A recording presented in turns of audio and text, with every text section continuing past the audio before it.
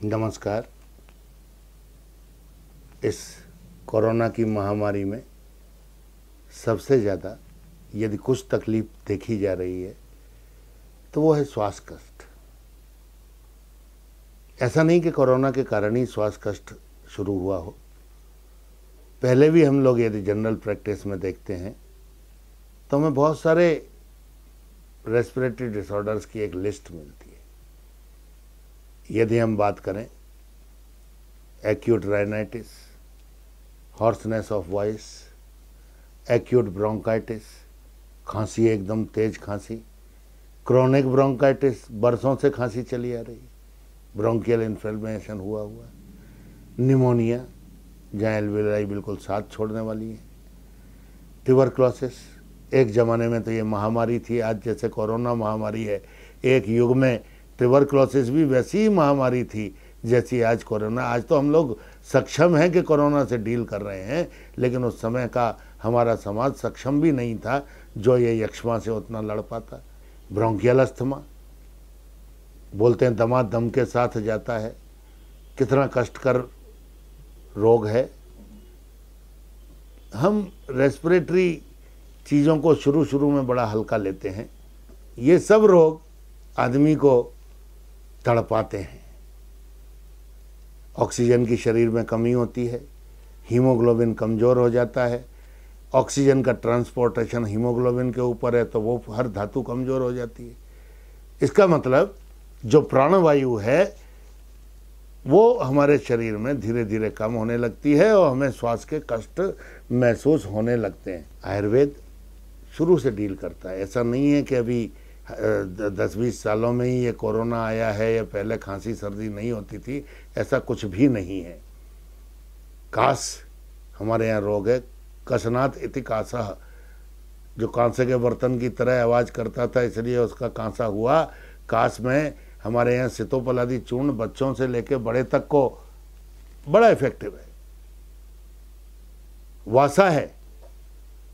वासा तो मॉडर्न दवाइयों में भी यूज़ होती है हर फार्मोकोपिया में वासा है। घोजिबादी क्वाथ है झंडू का जैब्स सिरप है। या हम शास्त्रीय दवाइयों की बात करें तो शास्त्रीय दवाइयों में खांसी के लिए तीन तरह की प्रकृतियों की तीन अलग अलग दवाइयाँ हैं। यदि वो वात प्रकृति का आदमी है चंचल है तो व्यवसादी बटी। यदि वो कफ प्रकृति का आदमी है तो उसके लिए आ, हमको खजरादी बटी। और यदि वो पित्त प्रकृति का आदमी है तो मधुष्टादी बटी, ऐसे तीनों प्रकृतियों के लिए अलग अलग दवाइयाँ हम लोगों के यहाँ मौजूद हैं।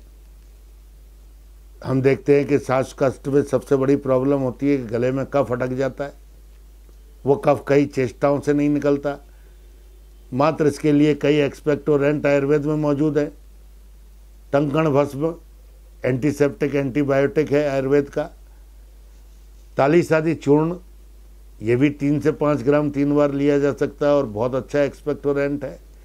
या वासा वासा मैंने कहा एडाटोडा वासिका तो वासावले जो है, वो वासावले भी तो आराम से लिया जा सकता है यदि किसी को खांसी हो रही है तो। कब सिरप भी बहुत हैं कनका सब भी है, वो अलग है, आ रहा हूँ मैं उस पर यदि मैं ब्रोंकाइटिस की बात करूँ तो लघु मालनी बसंत मेरे यहाँ ड्रग ऑफ़ चॉइस है। लवंगादी वटी या लवंगादी चूर्ण तो है ही। ये किसी न किसी आयुर्वेद के विशेषज्ञ से सलाह लेके आप लोग तुरंत शुरू कर सकते चौंसठ पिपल, चौंसठ प्रहर, पिपली, चूर्ण, ये भी एक शहद के साथ लेने वाली बहुत ही अच्छी दवा है। ट्यूबरक्लोसिस की यदि मैं बात करूँ तो इसे राज रोग कहा है। सत्ताईस नक्षत्रों के पति चंद्रमा को ये रोग हुआ तो सोम रोग भी इसे कहा। यक्षमा, राजयक्षमा इसके नाम। लेकिन हमारे यहाँ दवाइयाँ भी इसके लिए बहुत अच्छी हैं और रिसर्च प्रूव्ड हो चुकी हैं कि हाँ ये रिकवरी को तुरंत स्पीड अप करती हैं पेशअप करती हैं, जिससे मरीज़ जल्दी से जल्दी ठीक होता है, रसायन के रूप राज मृगांक रस drug of choice for tuberculosis स्वर्ण मालिनी बसंत, षटपुती अब्रक भस्म मुक्ता पंचामृत मोती से बना हुआ मुक्ति, मुक्ता, प्रवाल, शंख, कपर्दिका, वराटिका, सभी चीज़ें इसमें। शिला जत्वादि, लौह, ये सब चीज़ें आपकी राज्य यक्षमा में या ट्यूबरक्लोसिस में बहुत ही ज़्यादा फ़ायदा देने वाली है। और तो और, यदि हम एलोपैथी दवाइयों के साथ अकेला पिपली का चूर्ण बना चालू करते हैं तो उससे स्पीडी रिकवरी होती है, ये प्रूव है। सर्दी खांसी, जुकाम, सर्दी, जुकाम में खांसी की तो बात मैं कर चुका हूँ। हमारे यहाँ हिंगलेश्वर रस है, त्रिभुवन कीर्ति है, लक्ष्मी विलास रस है, त्रिशून है। इतनी सारी दवाइयाँ आयुर्वेद में मौजूद हैं और हर प्रकृति की सर्दी के लिए अलग अलग मौजूद हैं। कृपया किसी विशेषज्ञ से मिलकर और पुरानी सर्दी हो या नई सर्दी, आराम से आयुर्वेद का चिकित्सा आप शुरू करा सकेंगे अब सर्दी की उपेक्षा आपने की, बहुत दिनों से सर्दी रही। तो निश्चित बात है कि नजला आपको हो जाएगा।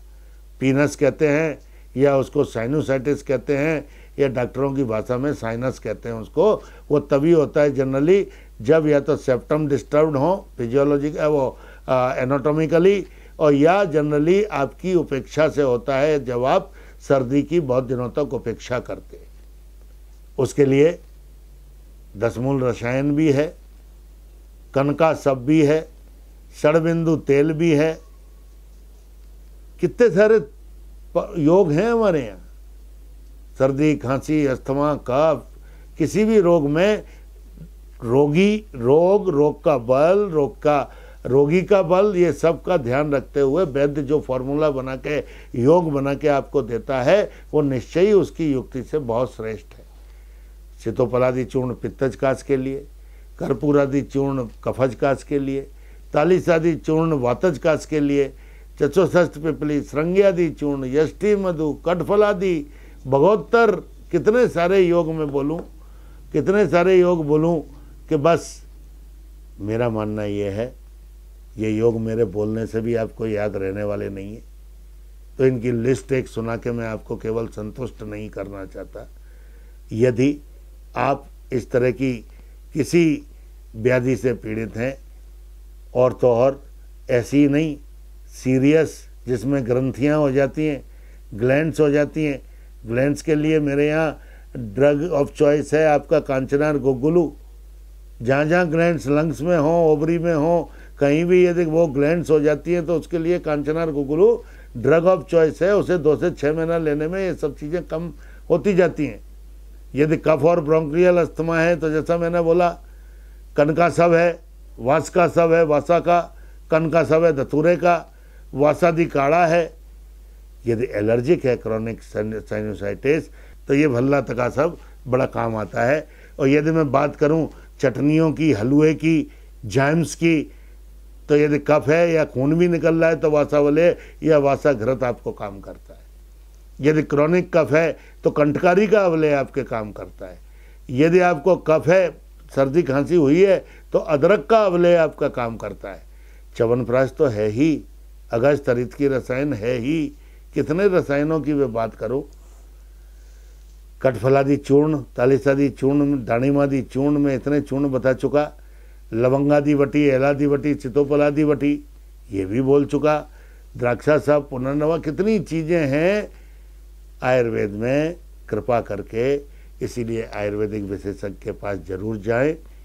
एक भंडार है, चाहे वो जैम्स हों, चाहे वो चटनियाँ हों, चाहे वो चूर्ण हों, चाहे कैप्सूल्स हों, योग हों, इतने तेल हैं, इतने योग हैं, इतने कंपाउंड हैं कि आप रेस्पिरेटरी प्रॉब्लम से कम से कम अच्छी तरह मैनेज कर सकते हैं।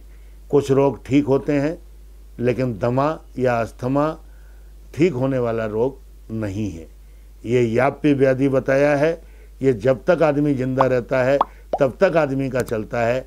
तो इसीलिए जो याप्य व्याधियाँ हैं, उनके लिए कोई ओवर क्लेम भी यदि करता है तो वो गलती है। और यदि जो ठीक हो जाने वाली साध्य व्याधियाँ हैं, या कष्ट साध्य व्याधियाँ हैं, उनके लिए आयुर्वेद का आपको ज़रूर इलाज कराना चाहिए, ऐसा मेरा मानना है। धन्यवाद। बहुत बहुत धन्यवाद।